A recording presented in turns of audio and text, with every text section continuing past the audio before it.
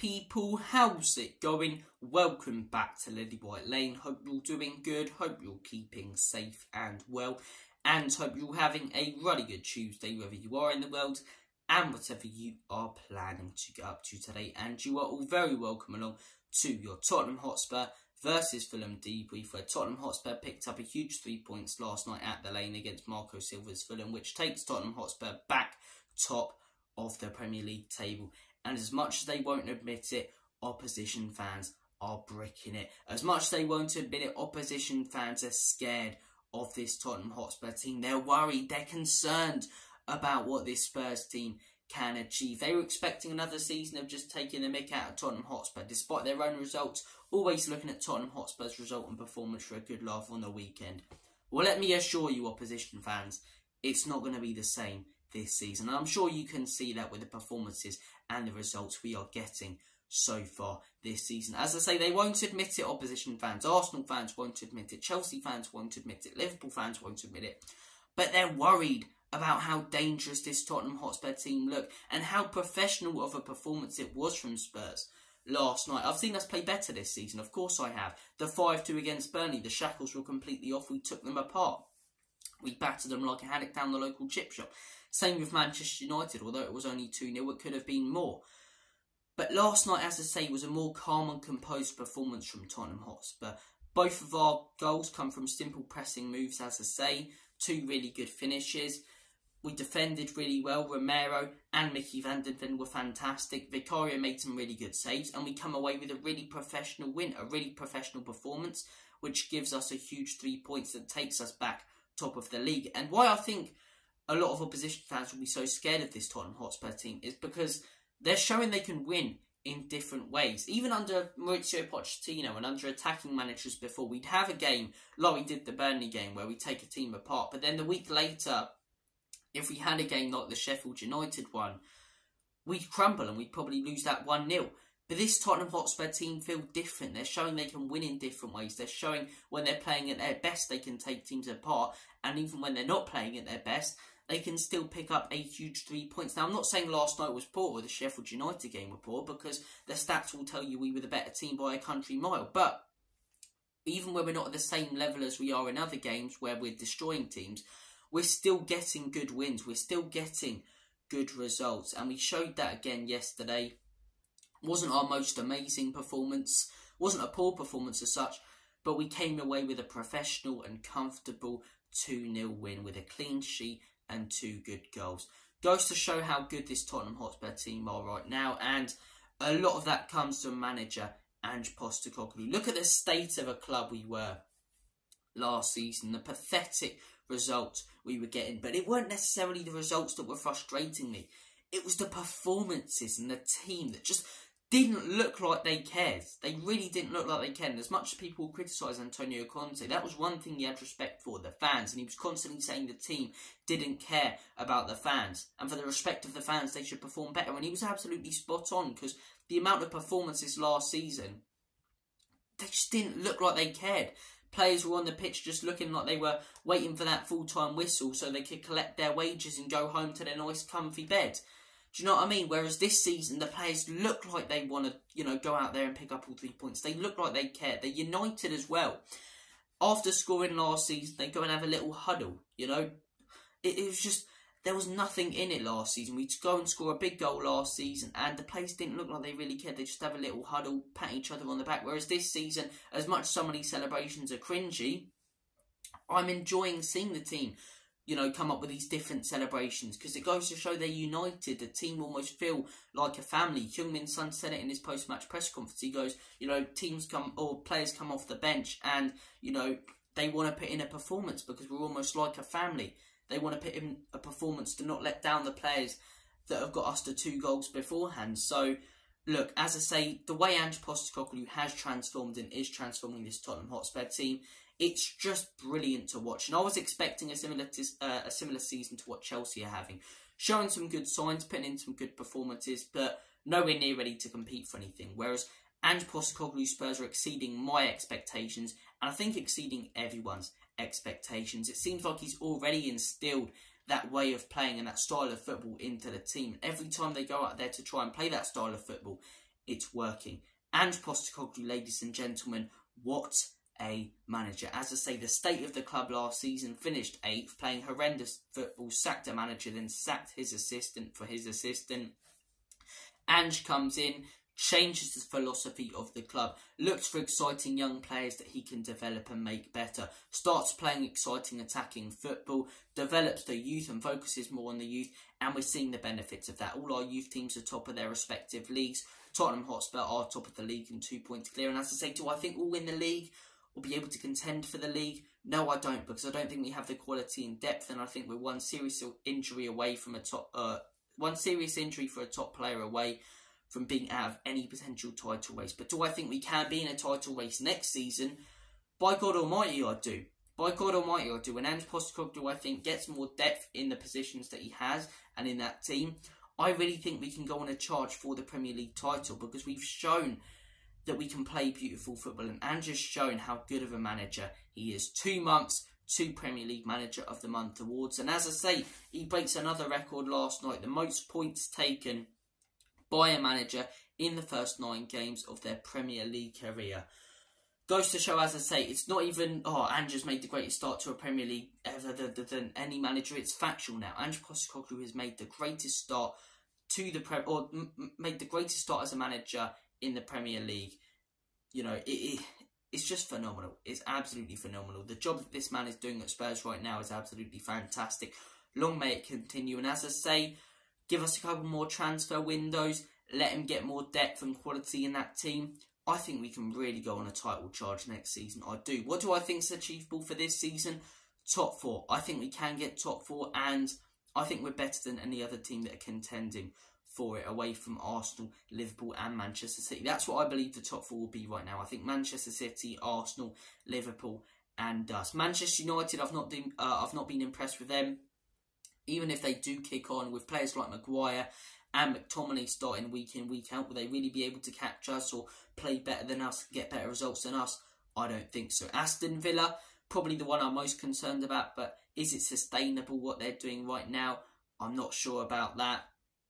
Brighton, showing there's holes in that team, their defence isn't brilliant. I don't think they can contend for uh, for top four with us. Chelsea, looking a dangerous team, but have also shown some uh, shown they can gain poor results as well.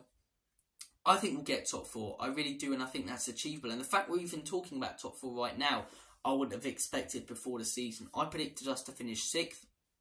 A lot of Spurs fans and opposition fans were predicting us to finish mid-table, but as I say, Ange Postecoglou in this Spurs team are exceeding expectations and proving doubters wrong week in, week out. And I said it at the beginning of the video, I'll say it again. They won't admit it, but opposition fans are scared of this Tottenham Hotspur team because they're showing that they can win in different ways. They're showing that they can pick up three points in a professional three points when they're not at their best. And that's what's scaring opposition fans and making me and many other Spurs fans excited about this team. Look, we've talked about Ange Postecoglou, the job he's done, him breaking another record, as I say.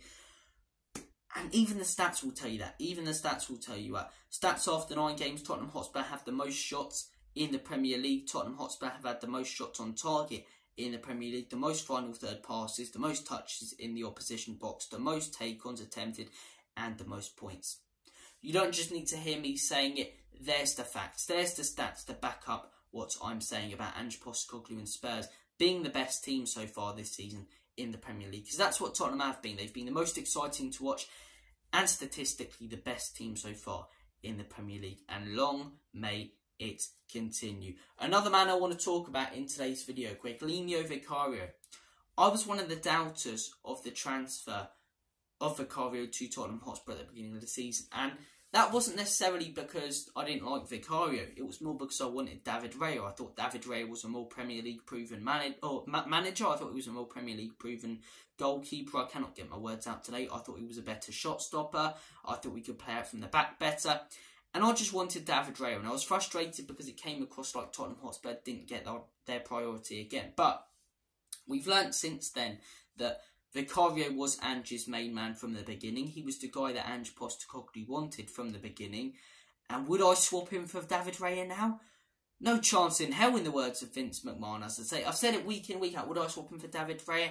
And week in, week out, it's changed. Last week, I think I said I'd probably swap him now. The week before that, I said maybe I'd swap him now. Right now, I would swap David, or I would not swap David Raya for Guglielmo Vicario because, I mean, Raya just looks shaky in that Arsenal team, doesn't he? I mean, against us, nearly gave it away for a goal a couple of times. Against Manchester City, looked a bit shaky in that first half.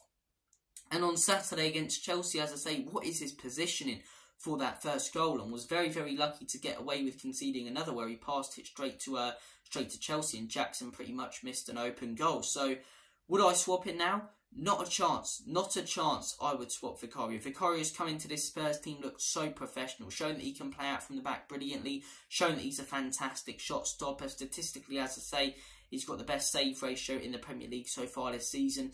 I would not swap him for David Raya right now. I think Vicario looks a better keeper.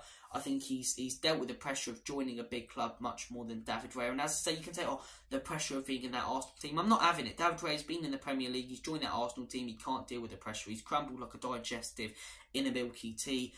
Whereas Vicario's joined this Tottenham Hotspur, Hotspur team with even more pressure on him because a lot of fans wanted David Raya and looks so, so solid in that goal and in between our sticks. David Raya, as I say, I wouldn't change him right now for Vicario. I think Vicario's been fantastic. And again, last night, a different game if he doesn't make those two crucial saves. That Palhinha header, if that goes in, Fulham go 1 0 up, it's a different ball game, as I say. They put 10 men behind the ball and it's a lot harder to break them down. We've seen this season that we struggle against teams that completely sit back against us. So could have been a very different game, but it's an absolutely brilliant save. Claws it out of the net, Vicario, as I say. And he's still under underappreciated.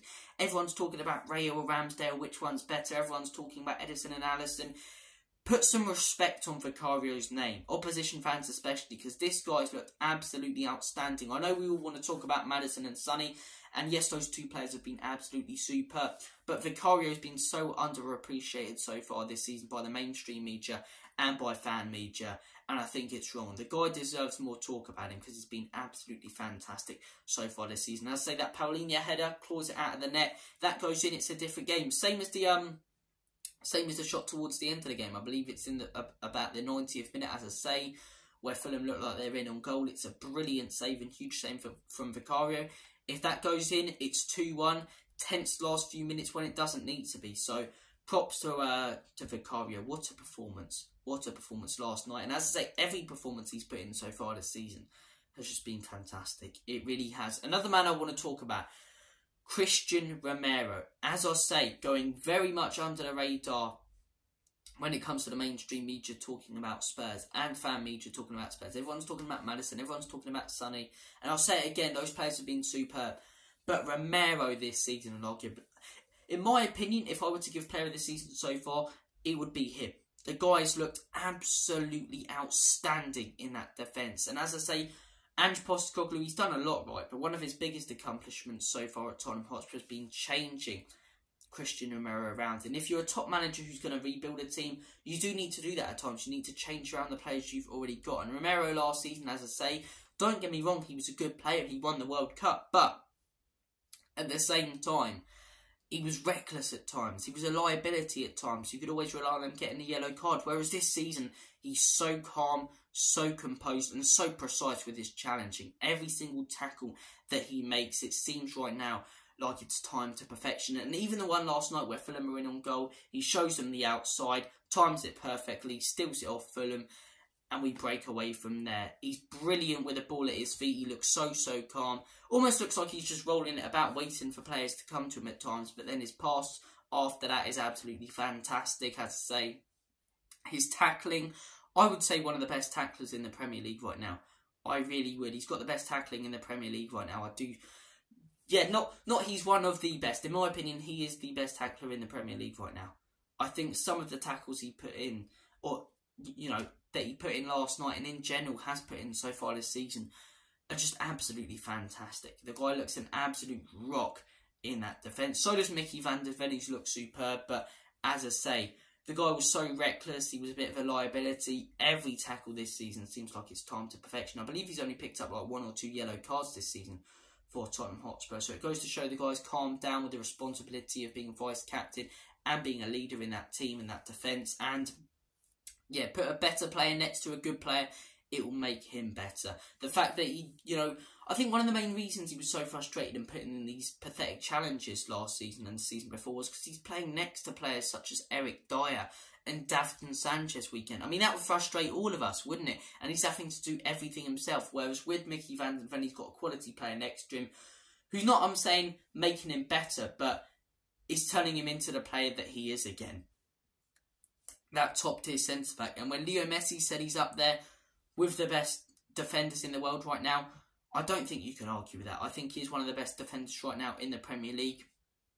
Him over Saliba all day long. I mean, look at the stats. They tell you that. It's a myth that Saliba's so clear of Cristian Romero. Will Stewart and Tottenham Away did a brilliant video on it. So, yeah, Cristian Romero this season's been outstanding. and just completely transformed him as a player. What a performance by him. What a performance by him last night. What a performance, as I say. Another thing I do want to talk about in this video is Ange Postecoglou and the comments he came out with in his post-match press conference. And one of the things that I highlighted was that he said we were really poor in that second half. Now, in my opinion, we weren't at our best, but I don't think we were really poor. But I like the fact he's saying that because it goes to show the expectations are so high at Tottenham Hotspur. A comfortable 2 0 win will not do. We want to score three, we want to score four, we want to defend better, we want to be even more sharp. As I say, the expectations right now are through the roof for Tottenham Hotspur, and that is upping the level of the team and players. Brilliant post-match press conference from Ange Postecoglou. Everything this man touches right now turns to gold. He can't do no wrong as Tottenham Hotspur manager. Son, Maddison, Romero, Højbjerg even last night. Absolutely fantastic. Maddison as well yeah, great time to be a Tottenham Hotspur fan. It really is a great time to be a Tottenham Hotspur fan. Do I think we can contend for the league or win it? No, because I don't think we have the quality and depth, and I think we're a Cuti Romero or Van Den Ven or Maddison, or Heung-min Son injury away from collapsing. But do I think we can get top four? By all means. With one game a week, as I say, out of the Carabao Cup, when you look at the teams that are challenging us, Arsenal, Man City, and Liverpool for those top four places, I think we will get it, and I do think we can contend for it. But guys, comment your thoughts down below. What what what do you think Tottenham Hotspur can achieve this season? If we go on to pick up three points at Crystal Palace, that changes a lot in my opinion. That would be a huge win. It doesn't matter the form they come into it with. Selhurst Park, such a tough game, you know, to play and place to go, and especially on a Friday night as well. If we can get a win there, no matter the way we do it, that really would be something else. But guys, Thank you for watching this video. Take care. Have a smashing Tuesday and week.